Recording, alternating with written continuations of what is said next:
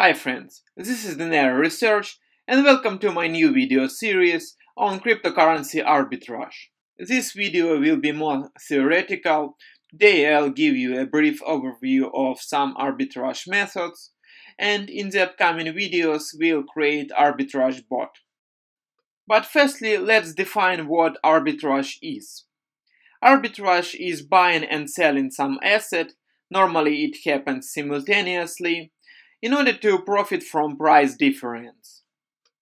In this video I will cover three arbitrage methods. The first method has no name, at least it's unknown for me, so let it call simple arbitrage. The second one is triangular arbitrage, and the third one and the last one in this video is statistical arbitrage. The first two methods, simple and triangular arbitrage, are a little bit common at some extent. Both of them require high-speed network with low latency. They both have almost zero level risk and generate small profit. Statistical arbitrage is absolutely different from the first two methods. It is more complex. It actually has evolved out of pairs trading strategy. Statistical arbitrage requires a lot of scientific uh, computation and it has higher risk but can generate much higher profit. Let's look at these methods in details and begin with simple arbitrage. Let's assume that we have accounts on two exchanges, Exchange 1 and Exchange 2. In real life, these exchanges may be Binance, Bitfinex, Poloniex, Bittrex, and so on. It doesn't matter at the moment but both of these exchanges have common pair. For our example, let it be XRP against Bitcoin.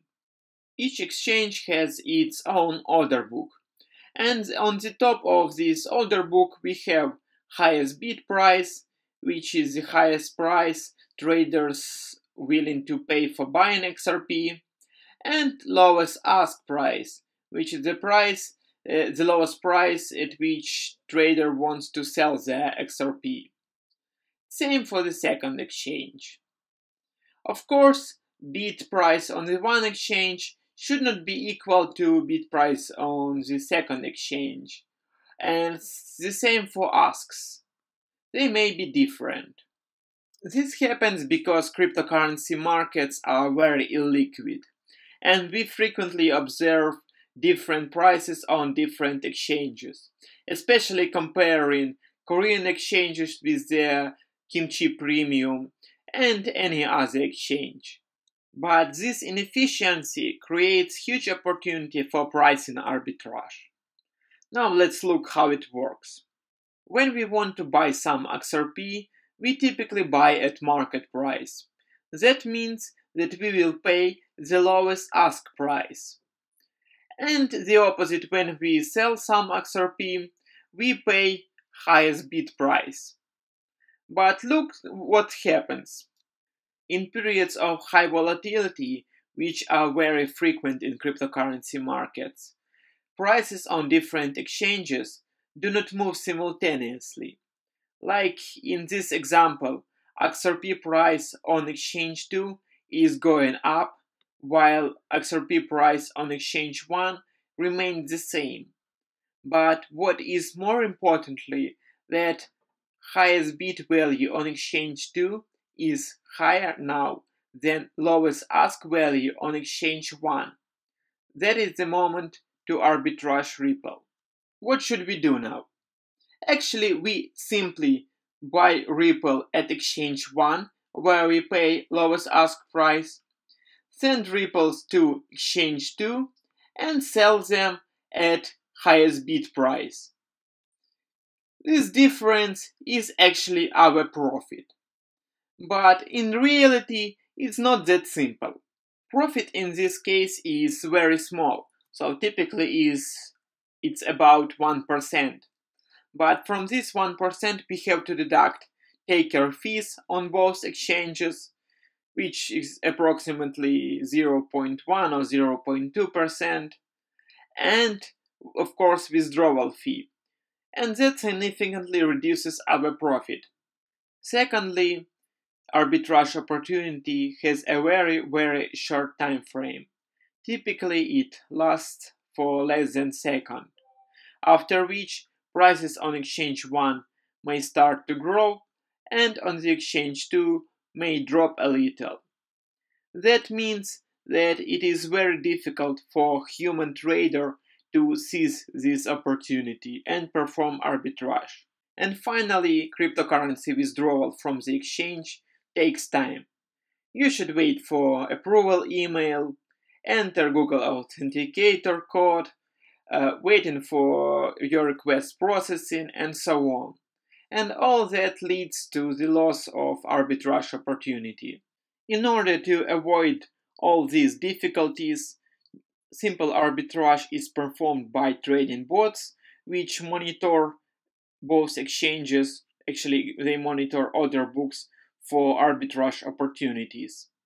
In order to avoid withdrawal fees and actually delays caused by transferring XRPs or any other cryptocurrency from one exchange to another, trader keeps equals equal amounts of ripples and bitcoins on both exchanges, exchange 1 and exchange 2.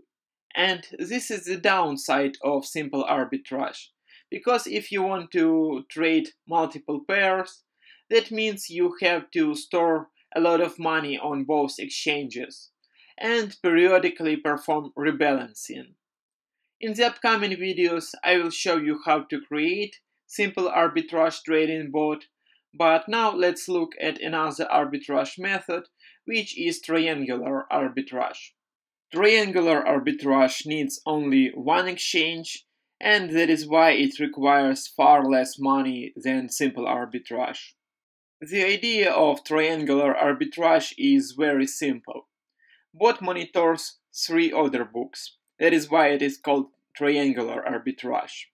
In our example, it is XRP BTC, XRP Ethereum, and Ethereum to Bitcoin and bot calculates and waits for condition when we can sell bitcoins to buy XRPs, sell XRPs in order to get Ethereums, and sell Ethereums in order to get back to bitcoins.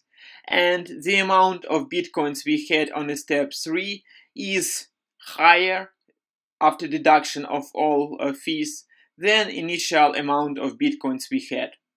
Unlike simple arbitrage where trades can be done simultaneously, so bot can buy only one exchange and sell on another simultaneously. In case of triangular arbitrage, trades are performed sequentially, and that causes additional delay, which may lead to loss of arbitrage opportunity. Now let's look at statistical arbitrage. Because of its complexity, I will not dive deep in this video because statistical arbitrage requires its own video series and probably someday I'll make this video series.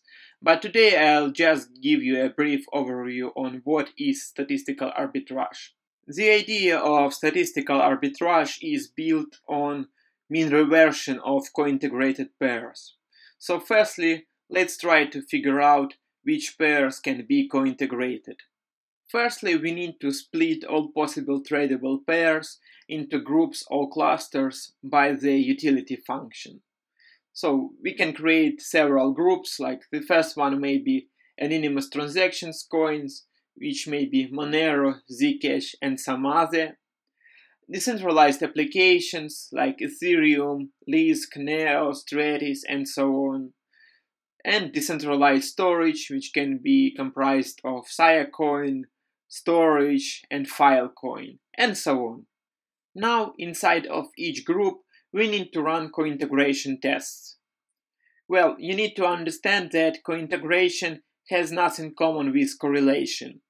Pairs may be correlated but not co-integrated, and they may be co-integrated and not correlated, but they also can be co-integrated and correlated in the same time. If test gives us result that is at least below than 0.05, that gives us some confidence that these pairs can be co-integrated. Now we need to calculate the spread. It is actually simply difference between prices of pair 1 and pair 2 multiplied by some coefficient. This coefficient beta can be calculated through the regression of prices pair 1 and pair 2. And the spread is the price of synthetic pair, so let it, let it call it XMR BTC BTC. The next step is to get z-score. Z-score will give us trade signal, whether we need to buy or sell, and which pair we need to buy and sell. This can be easily done through multiplication of mean value of the spread by standard deviation of the spread and deduction of the resulting amount from the spread value.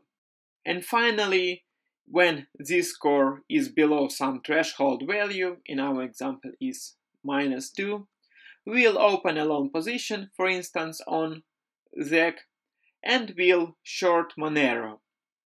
If z-score is above some threshold value, let it be 2, we'll do the opposite. We'll long Monero and short Zcash. And finally, we'll close long and short positions simultaneously once z-score value goes back to zero. As you see, we do not have any stop losses here. So how do we manage risk? Well, for risk management in statistical arbitrage, we use hedging.